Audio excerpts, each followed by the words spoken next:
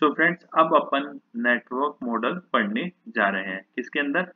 DCN के अंदर। DCN का फुल फॉर्म पता है आपको? डीसीएन का फुल फॉर्म क्या होता है?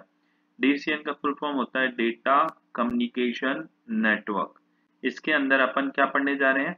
इसके अंदर पढ़ने जा रहे हैं अपन नेटवर्क मॉडल ठीक है? अब इस नेटवर्क मॉडल से क्या समझते हो आप? सबसे पहले तो अपन को ये पता होना चाहिए कि अपन जो पढ़ रहे हैं ना टॉपिक उसका मतलब क्या हो रहा है? अपन पढ़ रहे क्या है? तो अपन नेटवर्क मॉडल पढ़ रहे हैं। अब नेटवर्क मॉडल से मतलब होता है नेटवर्क की कार्य प्रणाली को डिफाइन करना। मतलब नेटवर्क कैसे काम करता है, उस काम करने के तरीके को डिफाइन करना। क्या नेटवर्क की कार्य प्रणाली को डिफाइन करना ही नेटवर्क मॉडल कहलाता है। यहाँ पे याद रखना, मैंने नेटवर्क मॉडल के लिए एक शब्द यूज़ में लिया है कार्य प्रणाली ठीक है? इस पे मैं ज़ोर डाल रहा हूँ यहाँ पे कार्य प्रणाली पर। ताकि अगर मैं जब आपको आगे समझाऊँगा तो मैं आपको इसको ढंग से बता पाऊँगा कि यहाँ पे कार्य प्रणाली से मतलब क्या हुआ। ठीक है?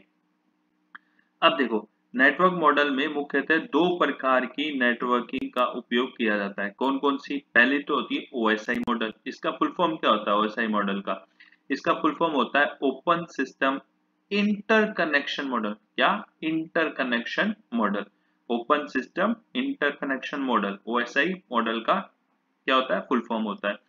और दूसरा कौन सा होता है? टीसीपी मॉडल होता है। टीसीपी का फुल फॉर्म क्या होता है? ट्रांसमिशन कंट्रोल प्रोटोकॉल और आईपी का फुल फॉर्म क्या होता है? इंटरनेट प्रोटोकॉल मॉडल ठीक है?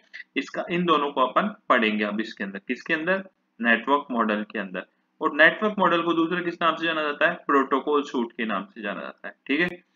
अब देखो, अपन सबसे पहले किसको? ओएसआई मॉडल को पढ़ लेते हैं, है ना? इसको मैं पूरा डिटेल में पढ़ाऊँगा। तो आपको टेंशन लेने की ज़रूरत नहीं है, बस सीरीज़ को इसको फॉलो करो, है ना? और आपका इसमें कमांड बन जाएगा। मतलब आपको ये बहुत ही अच्छी तरीके से आने लग जाएगा, ठीक है?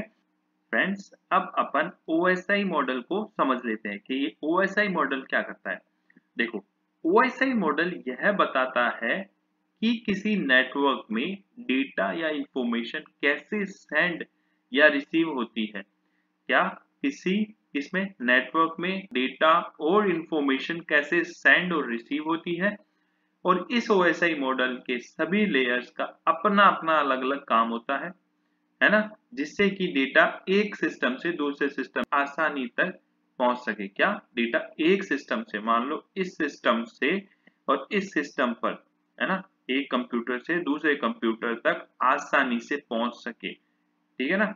मैं वापस से समझाता हूँ आपको ओएसआई मॉडल तो ओएसआई मॉडल क्या होता है? यह बताता है। क्या बताता है? ओएसआई मॉडल यह बताता है कि किसी नेटवर्क में, किसी नेटवर्क में डेटा या इंफॉर्मेशन कैसे सेंड या रिसीव होती है। इस मॉडल के अंदर, इस ओएसआई मॉडल के अंदर सभी लेयर्स का अपना अपना अलग अलग काम होता है, जिससे कि डेटा एक सिस्टम से दूसरे सिस्टम तक आसानी से पहुँच सके। अब आप बोलोगे, सर, इसमें लेयर कौन कौन सी है? देखो, अभी अपन इसको आगे पढ़ेंगे ना तो इसके टाइप्स में आएगी लेयर वो लेयर जितने भी लेयर होगी, उन सब लेयर का अपना अपना एक अलग काम होगा। वो अपन डिस्क्राइब से पढ़ेंगे। टेंशन मत लो। ठीक है ना? अब दूसरी बात क्या आती है? ये जो ओएसआई मॉडल है ना, ये OSI मॉडल एक स्टैंडर्ड रेफरेंस नेटवर्क मॉडल है। क्या है? स्टैंडर्ड रेफरेंस नेटवर्क मॉडल है, जो सेंडर और रिसीवर के बीच में कम्युनिकेशन क्या करता है? डिफाइन करता है। अब आप बोलोगे, सर, ये रेफरेंस मॉडल क्या होता है? देखो OSI मॉडल एक रेफरेंस मॉडल है, मैं कितनी बार बोल चुका हूँ।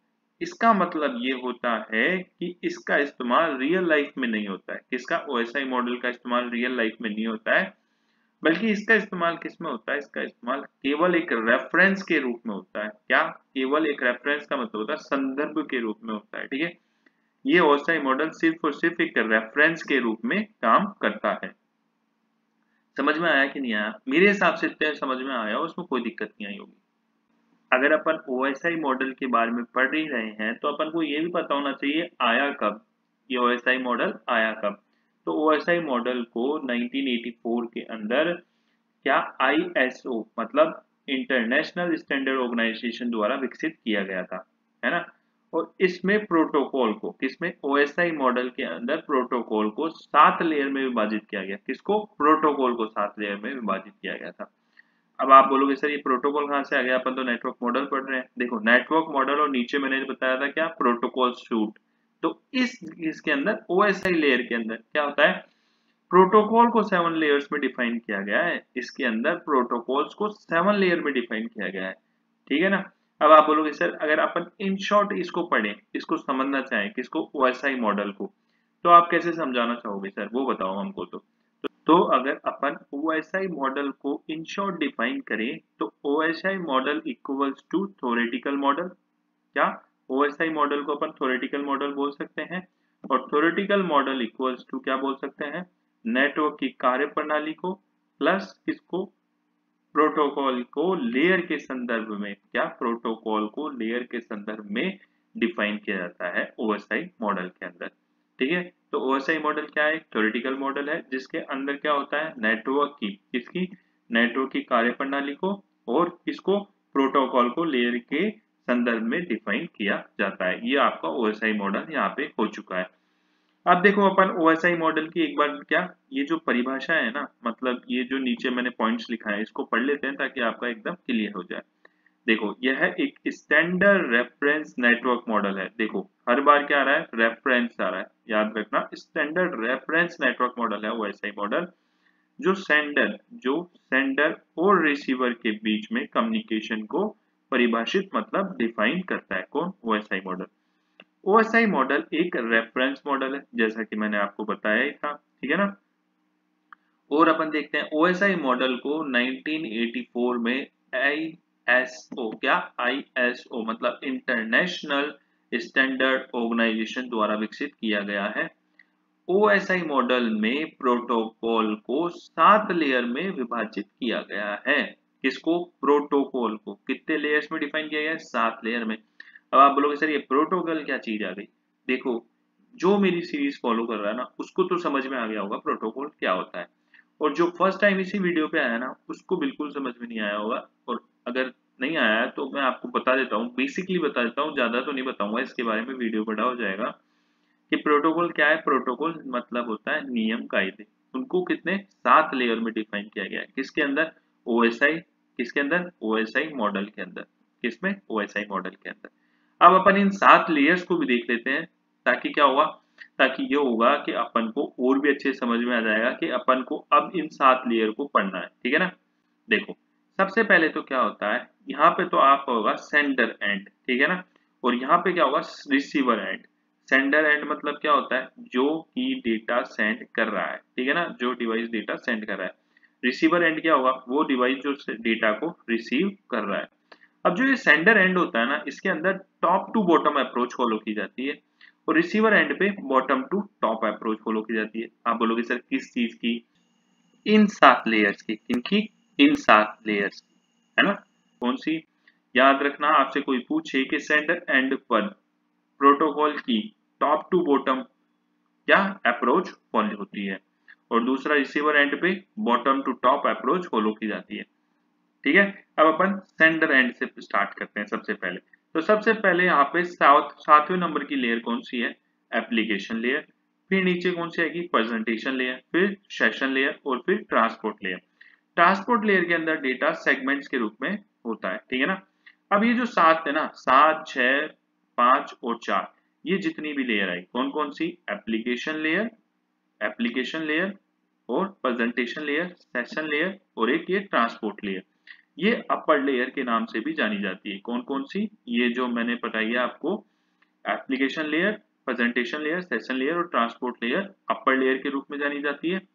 उसके बाद में तीसरे नंबर पे कौन सी आती है? लोअर लेयर कहा जाता है।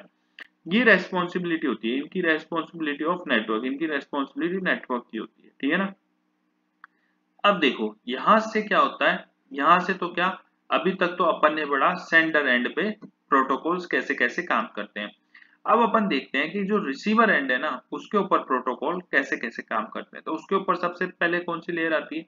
पहले नंबर पे कौन सी आती है? फ़िज़िकल लेयर अब इसके अंदर कौन सी अप्रोच फॉलो कर रहे हैं अपन? बॉटम टू टॉप क्या अपन कौन सी अप्रोच फॉलो कर रहे हैं? बॉटम टू टॉप सबसे पहले कौन सी आई? फ़िज़िकल लेयर फिर दूसरे नंबर पे डेटा लिंक लेयर तीसरे नंबर पे नेटवर्क लेयर चौथे नंबर पे ट्रांसपोर्ट लेयर पाँचवें नंबर पे सेशन लेयर छठे नंबर पे प्रेजेंटेशन लेयर और सातवें नंबर पे एप्लीकेशन लेयर तो ये इस तरह से ये आपका सेंडर एंड और रिसीवर एंड पे प्रोटोकॉल्स काम करते हैं।